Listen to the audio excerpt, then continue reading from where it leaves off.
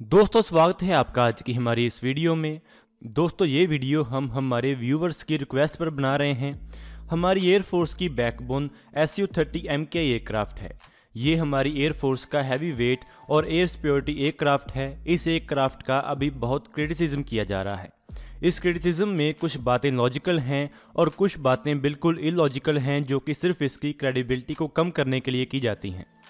ये एयरक्राफ्ट काफ़ी बड़ा एयरक्राफ्ट है, जिसके कारण इसका रडार सिग्नेचर काफ़ी बड़ा है और इसके कारण इसका काफ़ी क्रिटिसिज्म भी होता है।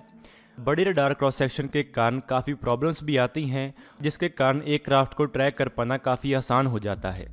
कुछ दिन पहले मुझे एक कॉन्सेप्ट देखने को मिला था, जो कि रशियन डिफेंस फोरम में देखने को मिला था, जिसमें एफ़ फिफ्टीन साइलेंट ईगल जैसा ही S U thirty M K aircraft को मॉडिफाई किया गया था। आज की इस वीडियो में हम उस कॉन्सेप्ट के बारे में जानेंगे और ये भी बात करेंगे कि क्या ये कॉन्सेप्ट पॉसिबल है और क्या S U thirty M K aircraft के रडार क्रॉस सेक्शन को कम किया जा सकता है। तो चलिए शुरू करते हैं। जिस सेमी स्टेल्थ कॉन्सेप्ट की हम बात कर रहे हैं, उसमें एक क्राफ्ट को सेमी स्टेल्थ बनाने के लिए कुछ डिज़ाइन चेंजेस सजेस्ट किए गए हैं। इसमें बताया गया है कि इसका डिज़ाइन सेमी स्टेल्थ होगा, इसमें इंटरनल वेपन बेस होंगे, इसमें फुली रडार अब्जॉर्बेंट मटेरियल्स की कोटिंग होगी, इसमें बबल कैनपी का इस्तेमाल किया जाएगा, इसमें जो इंटेक्स होंगी वो सरपेंटाइन शेप वाली होंगी, इसके साथ ही इसमें ब्लेंडेड विंग्स होंगे, ये सभी चीज़ें मिलकर इस एयरक्राफ्ट के आरसीएस को कम करेंगी। ये concept F fifteen Silent Eagle से इंस्पायर्ड लगता है, जिसमें ऐसे ही मॉडिफिकेशन करके उसके आरसीएस को कम किया गया था। लेकिन ये कॉन्सेप्ट किसी भी एंगल से फिजिबल नहीं है। जो अमेरिका के बोइंग ने एफ़ फिफ्टीन का साइलेंट ईगल कॉन्सेप्ट बनाया था, वो भी टेक ऑफ़ नहीं कर पाया और उसके कोई भी एयरक्राफ्ट खरीदे नहीं गए थे। उसके कुछ कारण हैं। एक तो कारण ये है कि ऐसी रिपोर्ट्स आ चुकी हैं कि सुपर स्कोई में कोई एयर फ्रेम चेंजेस नहीं किए जाएँगे। दूसरा कारण ये है कि ये कॉन्सेप्ट बहुत महँगा होगा और इसके साथ ही ऐसा करने के लिए रशिया से परमिशन चाहिए होगी। और रशिया इसके लिए बहुत ज़्यादा चार्ज करेगा। रशिया ने ऐसे सुपर स्कोई कॉन्सेप्ट पहले ऑफ़र किए हैं, जिसमें रडार क्रॉस सेक्शन को रिड्यूस करना शामिल है। लेकिन उनका कहना है कि इस अपग्रेड की कॉस्ट इस बात पर डिपेंड करेगी कि कौन सा पैकेज इंडियन एयरफोर्स चूज़ करती है। ऐसे ही 2013 में रशियंस को ब्रह्मोस मिसाइल को S U thirty M K aircraft के साथ इंटीग्रेट करने के लिए कहा गया था, लेकिन रशियंस ने इसके लिए 1300 करोड़ मांगे थे। लेकिन एच के पास बजट कम होने के कारण उन्होंने ये डील रिजेक्ट कर दी और बिना किसी हेल्प के इसके ऊपर काम करना शुरू कर दिया। इसके बाद एच ने खुद ये मिसाइल इंटीग्रेट की और टेस्ट भी की। एचएल ने यह प्रोजेक्ट केवल 80 करोड़ में कर दिया था, जो कि रशियंस द्वारा मांगी गई कीमत का 6 परसेंट था। लेकिन इसका मतलब ये भी नहीं है कि हम Su thirty M K aircraft की RCS को कम नहीं कर सकते। वो हम इसलिए कह रहे हैं क्योंकि रशिया ने S U thirty five aircraft के साथ ऐसा किया है, वो भी बिना बड़े चेंजेस किए। उन्होंने केवल डार अब्जॉर्बेंट मटेरियल्स की कोटिंग को ज़रूरत वाली प्लेसेस में लगाकर उसके RCS को 90 परसेंट कम किया है। एस यू में किए गए चेंजेस के कारण एस एयरक्राफ्ट की एक्स रेडियो वेव बैंड और 60 डिग्रीज के एंगल में रडार क्रॉस सेक्शन काफ़ी कम हो गई है। स्कोई थर्टी फाइव एयरक्राफ्ट में रडार अब्जॉर्बेंट मटीरियल्स का इस्तेमाल किया गया है। इसमें पूरी बॉडी में इन मटीरियल्स का इस्तेमाल नहीं किया गया है, बल्कि कुछ ही जगहों पर इसका इस्तेमाल किया गया है।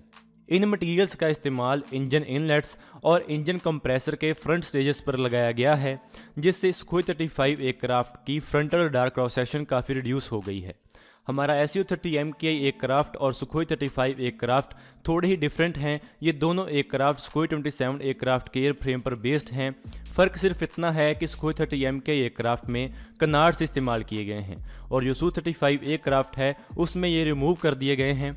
हमारे डीआरडीओ ने ऐसे मटेरियल्स एम से फाइटर जेट के लिए डेवलप किए हैं। और इन मटेरियल से डार्क क्रॉस सेक्शन रिड्यूस करना पॉसिबल है। बाकी ऐसा इम्प्लीमेंट किया जाएगा या नहीं, ये सिर्फ़ फिजिबिलिटी स्टडीज़ के बाद ही पता चलेगा, लेकिन ये पॉसिबल है। इससे पहले जब सुपर स्कोई अपग्रेड को लेकर बात होती थी तो उसमें बहुत सारी चीज़ें मेंशन की जाती थी। क्योंकि इसको लेकर इंडियन एयर फोर्स ने कोई भी कन्फर्मेशन नहीं दी थी तो इसको लेकर काफ़ी थ्योरी सामने आती थी।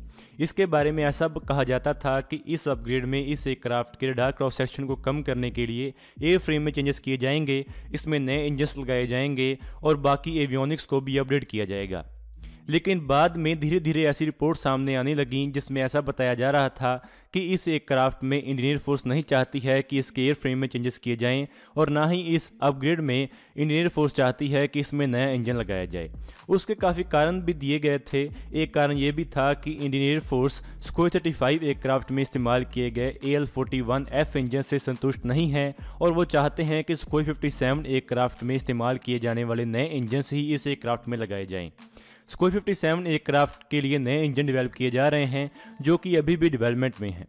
इसके अलावा भी ऐसी रिपोर्ट्स थी कि इंडियन एयरफोर्स चाहती है कि जो S U fifty seven aircraft के लिए नई टेक्नोलॉजीज़ डेवलप की गई हैं, उन्हीं टेक्नोलॉजीज़ का हमारे Su thirty M K aircraft के सुपर स्कोई अपग्रेड में इस्तेमाल किया जाए।